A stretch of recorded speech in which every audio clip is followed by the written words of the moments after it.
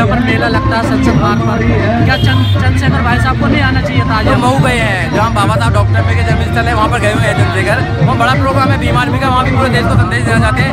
Bhim army के लोग अलग अलग जगह मना रहे हैं पूरे देश के अंदर बाबा साहब डॉक्टर पे जन्मदिन को मना रहे हैं। जिस प्रकार से भीम आर्मी एक मिशन को आगे बढ़ा रही है अगर सारे संगठन इसी प्रकार से बढ़ाएँ तो फिर कितना अच्छा होता सर? बहुत जल्दी हमारा जो मिशन है वो कंप्लीट हो जाएगा।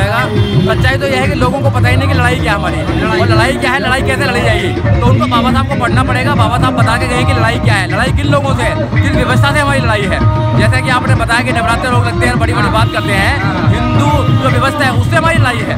सच्चाई है? उस व्यवस्था को समझना पड़ेगा, उसको जड़ से उखाड़ना पड़ेगा, घरों से निकालना पड़ेगा, जब ये बाबा साहब डॉक्टर अंबेडकर की बात कर सकते हैं। सर, एक एक सवाल और मेरा, सर। बाबा साहब को लोगों ने एक प्रोडक्ट बना रहे हैं खूब बेच रहे हैं उनको सर। ज़बरदस्त बड़ा बिज़नेस बना रखा ये गलत है ये गलत है बिल्कुल गलत है। खंडन करते हैं इस बात का। बाबा साहब डॉक्टर अंबेडकर ने हमारे लिए अपने बच्चों की कुर्बानी दी है हमें संविधान दिया है।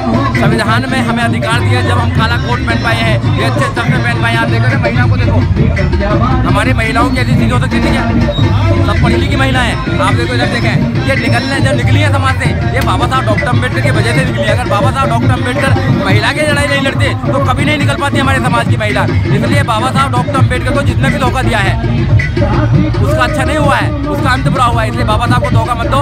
बाबा साहब के रास्ते पर चलो बुद्ध के रास्ते पर चलो। जब भी क्रांति हो सकती है जब भी देश के अंदर बाबा साहब का मिशन पूरा हो सकता है। हमारे साथ और भी महिलाएँ हैं भीम आर्मी के स्टॉल बने हैं पर। क्या लगता है मैम नवरात्र रखे थे? ही? है। कोई पूजा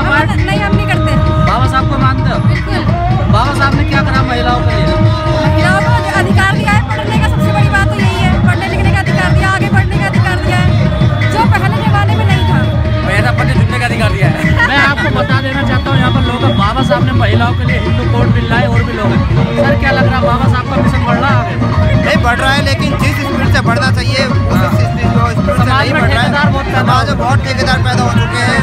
लेकिन जितना जब तक हमारा समाज संगठित होकर एक मंच पर नहीं आएगा तब ये बढ़ता रहेगा। मैं देख रहा हूँ यहाँ पे कंपटीशन हो रहा है। कि हमारा मंच ज़्यादा अच्छा है हमारा मंच ज़्यादा अच्छा है लेकिन ये इन सबको एक एक ही मंच पे आना चाहिए।